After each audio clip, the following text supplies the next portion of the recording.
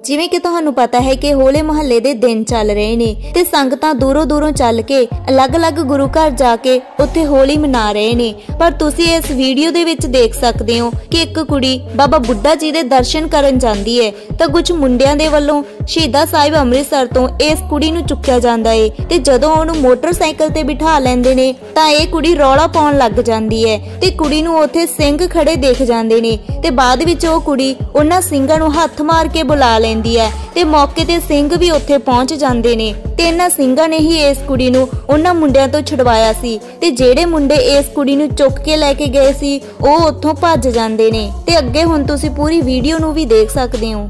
ਆ ਵਾਹਿਗੁਰੂ ਜੀ ਕਾ ਖਾਲਸਾ, ਸ੍ਰੀ ਵਾਹਿਗੁਰੂ ਜੀ ਕੀ ਫਤਿਹ। ਆ ਵੀਰ ਜੀ, ਮੋਟਰਸਾਈਕਲ ਦਾ ਨੰਬਰ ਜੋ PV 58G ਆ ਮੋਟਰਸਾਈਕਲ ਦਾ ਵੀਰ ਜੀ ਨੰਬਰ ਜੋ, ਡਿਸਕਵਰ ਮੋਟਰਸਾਈਕਲ ਜੋ। ਅਸੀਂ ਦਰਬਾਰ ਸਾਹਿਬ ਤੋਂ ਵੀਰ ਜੀ ਆਉਂਦੇ ਹਾਂ। ਤੇ ਆ ਭੈਣ ਨੂੰ ਬਾਬੇ ਸ਼ਹੀਦਾਂ ਤੋਂ ਮੁੰਡਿਆਂ ਨੇ ਚੁੱਕ ਲਿਆ। ਸ਼ਹੀਦਾਂ ਤੋਂ ਲੈ ਕੇ ਆਏ ਨਾ ਤੁਹਾਨੂੰ? ਹਾਂਜੀ ਸਿੱਧਾ ਲਾਗੇ ਜੀ ਸ਼ਹੀਦਾਂ ਚੁੱਕ ਕੇ ਲਾਏ ਵੀਰ ਜੀ ਅਸੀਂ ਰੱਬ ਵੱਲੋਂ ਆਉਂਦੇ ਹਾਂ। ਤੇ ਭੈਣ ਨੇ ਹੱਥ ਮਾਰਿਆ ਨੂੰ ਤੇ ਇਹਦਾ ਬਚਾਅ ਹੋ ਗਿਆ ਵਿਚਾਰੀ ਦਾ।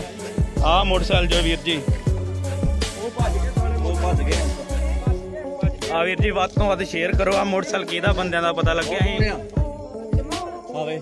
ਬਾਬੇ ਬੁੱਢੇ ਖਲੋਤੇ ਆ, ਬਾਬੇ ਬੁੱਢੇ ਮੋੜ ਤੇ ਜੀ ਘੇਰਿਆ ਇਹਨਾਂ ਨੂੰ। ਪੁਲਿਸ ਨੂੰ ਫੋਨ ਲਾਤਾ ਵੇ, ਆਉਂਦੇ ਆ। ਹੁਣ ਤੁਸੀਂ ਕੀ ਕਹਿਣਾ ਚਾਹੋਗੇ ਇਸ ਵੀਡੀਓ ਬਾਰੇ? ਕਮੈਂਟ ਕਰਕੇ ਜ਼ਰੂਰ ਦੱਸਣਾ ਤੇ ਵੀਡੀਓ ਨੂੰ ਅੱਗੇ ਵੱਧ ਤੋਂ ਵੱਧ ਸ਼ੇਅਰ ਜ਼ਰੂਰ ਕਰਨਾ ਤਾਂ ਕਿ ਇਹਨਾਂ ਮੁੰਡਿਆਂ ਬਾਰੇ ਪਤਾ ਲੱਗ ਸਕੇ। ਤੇ ਜੇ ਤੁਸੀਂ ਇਸ ਚੈਨਲ ਤੇ ਪਹਿਲੀ ਵਾਰ ਆਏ ਹੋ ਤਾਂ ਚੈਨਲ ਨੂੰ ਸਬਸਕ੍ਰਾਈਬ ਤੇ ਬੈਲ ਆਈਕਨ ਨੂੰ ਜ਼ਰੂਰ ਪ੍ਰੈਸ ਕਰ ਦਿਓ।